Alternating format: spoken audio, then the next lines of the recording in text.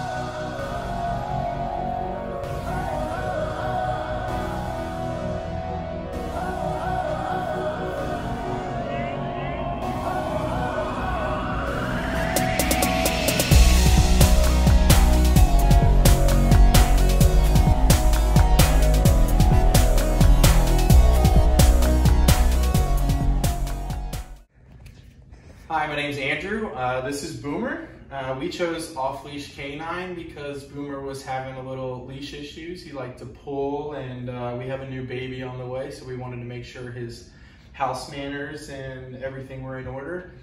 Um, off-leash has done a great job. These two weeks have been crazy. Um, we really missed him and uh, Ian's constant communication and updates were perfect. Um, it's, we're very happy with the training and it's everything we could have hoped for. Thank you.